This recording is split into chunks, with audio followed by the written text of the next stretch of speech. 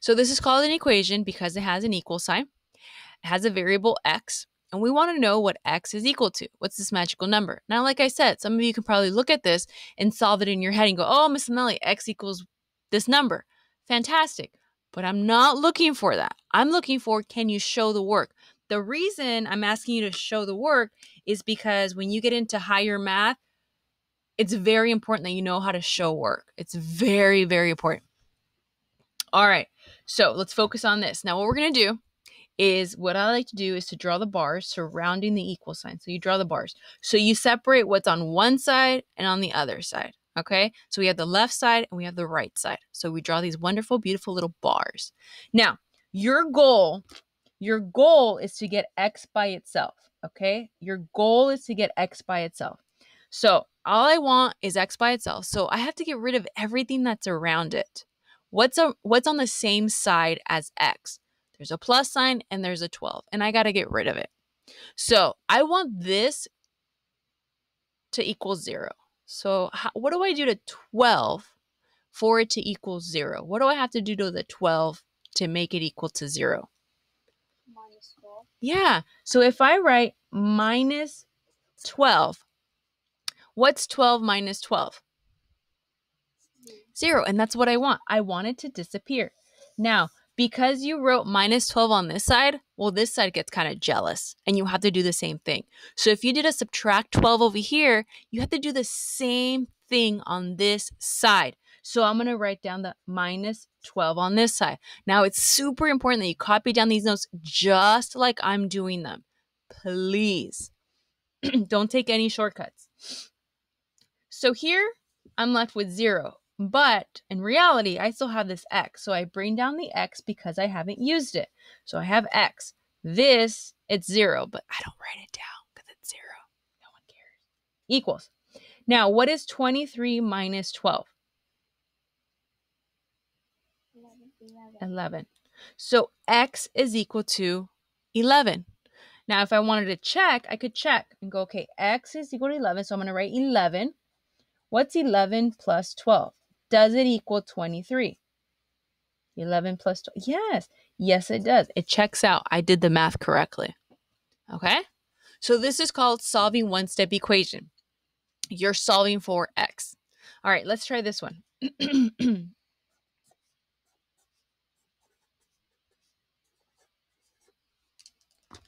okay, x plus 15 is equal to 38.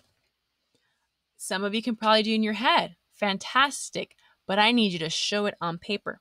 Now remember, you're taking a picture of these notes later, so make sure you copy everything down. You see that question mark there? Yeah, copy it down. Yep. Check that question mark right there. All right, so I want x by itself. That's your goal, to get x all by itself. So if it says plus 15, what are you going to do? Minus 15. minus 15. So basically, what you do is you do the opposite operation, right? So we're going to do minus 15. If it says to add 15, the original problem, you're going to subtract 15. Draw this. On this side, you're just left with x all by itself. So pretty. Now, on this side, you got to do the math. What's 38 minus 15? 23. 23. So x equals 23. Now, if you're wondering if that's correct, you go back and you plug it in. 23 plus 15. Does that equal to, to 23? Wait, what did I do wrong? Oh, 38. This is 38. So does 23 plus 15 equal 38? Yes? We're happy teachers and students. All right. Are we okay with this level one situation right here? So if it's adding, you subtract. Okay.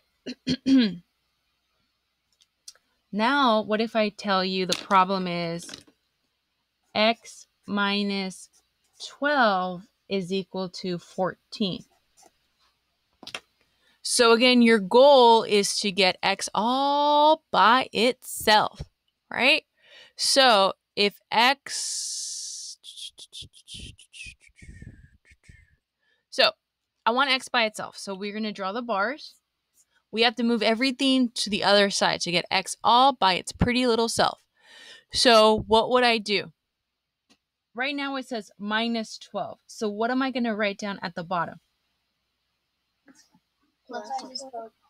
So I'm going to do a plus 12 because that's going to give me a zero. If I do the opposite operation, if it's subtract and I add, I will get the I will get a zero. And I'm left with x all by itself. So if it starts off with subtraction, you're going to be adding. Then on this side, I'm going to put plus 12. Whatever you do to one side, you have to do to the other side because it gets jealous. It gets jealous. What's 14 plus 12? Twenty-six. 26. And you're done. If you wanted to check, you plug it in here. 26 minus 12. Does that equal to 14? Yes, we're in we're in the right path.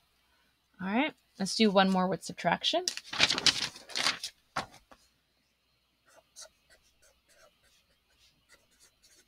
x minus 17 equals 50. So what would you do? You separate. Um.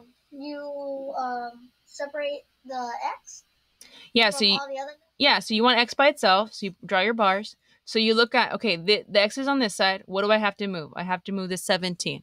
How do I move it? By so by flipping Adding 17, adding 17 to both sides. On this side, it gets eliminated. It equals zero. So we don't even worry about it. That's our goal is to get x by itself because this just goes away. It, it equals zero. We don't write, you know, zero because it's just zero. This side, you have to do the math. And remember, you do it to both sides. What do kids always forget to do? They always forget to do it to the other side. It's sad. What's 50 plus 17? Sixty-seven. 67. So x equals 67. Are we okay so far? It's pretty easy. Yeah. Yeah. Okay. Now, kids sometimes get a little confused. We'll do the same problem, but I'm going to write it just a little different.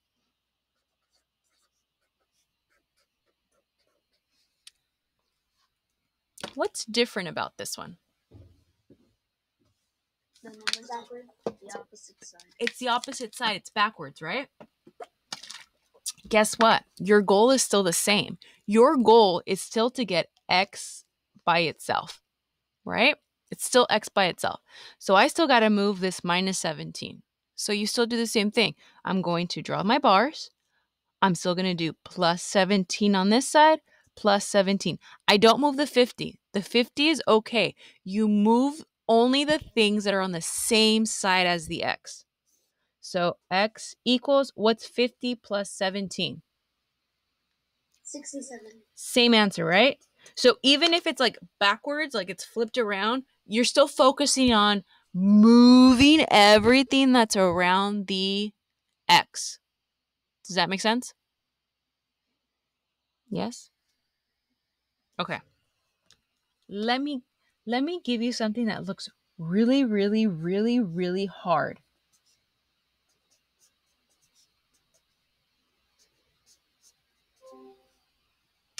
Does this look really really really hard? Yes.